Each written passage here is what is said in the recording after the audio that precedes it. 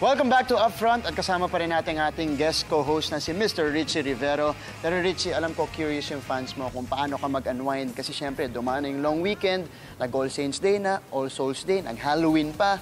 Ako, say for example, nag-staycation lang ako kasama yung family ko. Ikaw ba, how do you spend your long weekend? Okay, so last long weekend, um, yun, uh, first nag-beach ako. And then, Okay. yung long weekend talaga is spend ko lang yung time ko with my family. Mm-hmm. Kasi sobrang family-oriented namin. So, mas iniisip talaga namin is magkakasama kami. Mm-hmm. Mas okay kami ng ganun eh. So, uh, nag-spend na kami time together uh, kasi minsan lang yung mom ko dito and yung little brothers ko.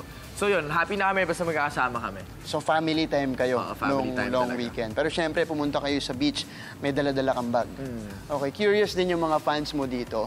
Ano yung pinaka-importanting bagay o kaya yung mga secret weapon mo na hindi pwedeng mawala sa bag mo aside from your cellphone?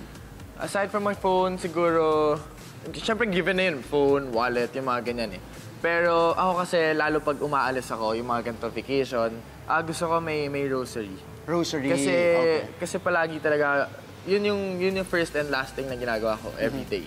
So, after ko, lalo pag papunta ako, papunta pa lang ako doon, ah, nasa car, gano'n, nag-pray na ako. Oo. Going there pa lang na syempre dahil sana, sana safe. Hindi lang ako, pero lahat sana nang mag-vacation. Kasi vacation yan eh. So dapat pagbalik mo kung saan ka talaga usual na, kung, kung may work ka or may school ka, sana same pa rin or mas happy, hindi yung may nangyaring... Yan.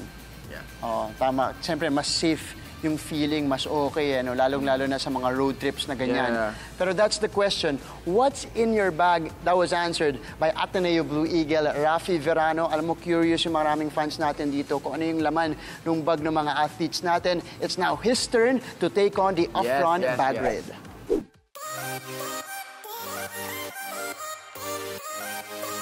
Hi guys, this is Rafi Verano from the Ateneo Eagles, and today I'm going to show you what's inside my bag.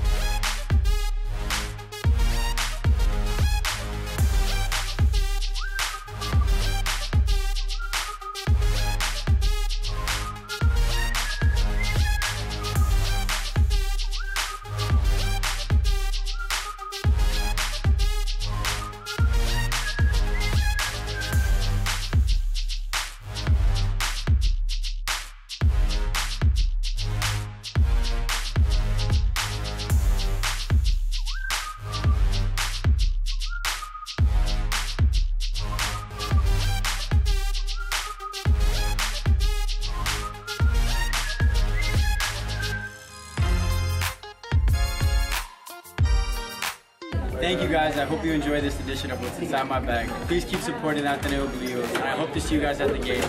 And there's no promises, but we're here to defend the championship. So please watch our games. I see you there. Bye.